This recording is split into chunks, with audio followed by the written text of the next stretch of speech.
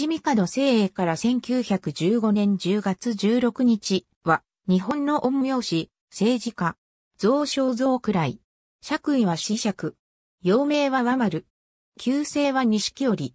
名前の読みは、晴れ義友。天文歴道御用係、大学御用係、貴族院議員などを歴任した。天文、歴道、陰陽道を家業とする土見門家の当主である。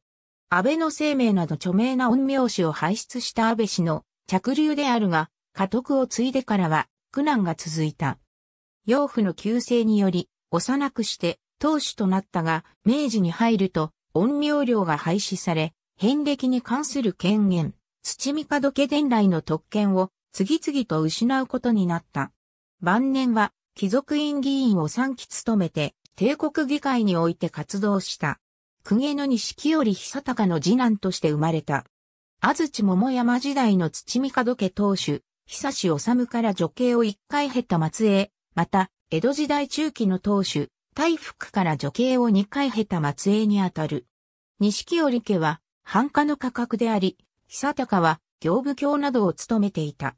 また久高は、晴れ久志が生まれる前年に起こった、定神88強烈三次元に関わっていた。ことでも知られている。その後、公家の土見門春夫の三女と結婚して、婿養子に入る。土見門家も繁華の価格であり、天文、歴道、陰陽道を家業としていた。春夫は陰陽頭や民部教などを務めていたが、明治維新を機に幕府の天文方を廃止するよう主張し、朝廷より許された。これにより、天文方の歴算や若津歴の権限は朝廷に返されることになり、朝廷で陰陽寮を統括していた土見門家が日本の遍歴を一手に担うことになっていった。1869年、養父、土見門春夫が死去したことに伴い、晴れ久氏が土見門家の家督を継いだ。その翌年には、転写禁止令により、陰陽師の免許が禁止され、陰陽寮が廃止されることになったため、陰陽道を家業としていた土見門家にとっては、苦難の時代が始まった。陰陽寮が所管していた天文歴道は、大学校のもとに設置された天文歴道局に移管されることになったが、その際に土見門家の当主として、晴れ久氏は新政府より天文歴道御用係を命じられた。しかし、天文歴道局の本局が東京に移転されることになったため、京都の土見門家はその出先機関のような扱いとなり、出張所が設置されることになった。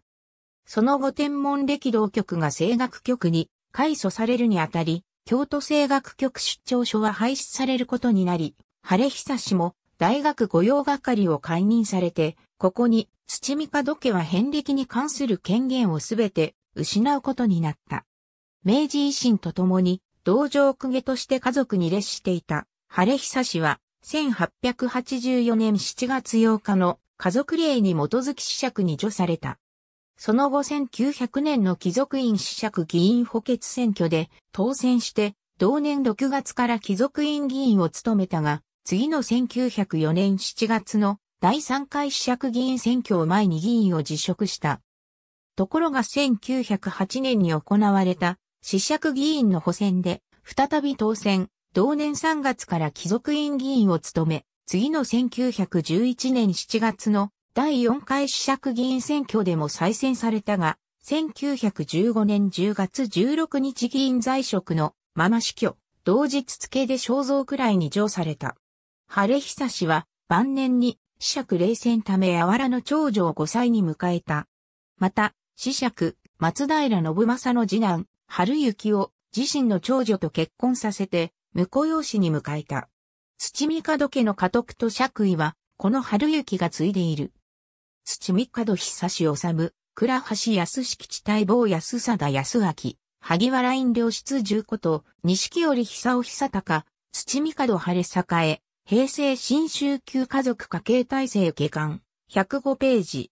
ABCDEFGH 霞会館所下資料、調査委員会編纂、昭和新州家族家計体制下巻、霞会館、1984年、100ページ。土見門は丸より、父春を式を届け、公文録54巻。土見門和丸より、天文力道の義に船外、公文録55巻。内閣記録局編、法規分類大全16巻、内閣記録局、1889年、303ページ。天文歴道局を、東京に、移りし西京発地味門家をもって館長に密列、大乗類典118巻。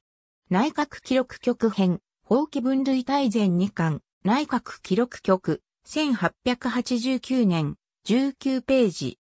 内閣記録局編、法規分類大全2巻、内閣記録局、1889年、20ページ。声楽局出張所廃止に府、土見門は丸大学御用係を面、セラル、大乗類典117巻。小田部雄二、家族中央公論新社、2006年、333ページ。帝国議会、官報5090項、印刷局、1900年6月22日、313面。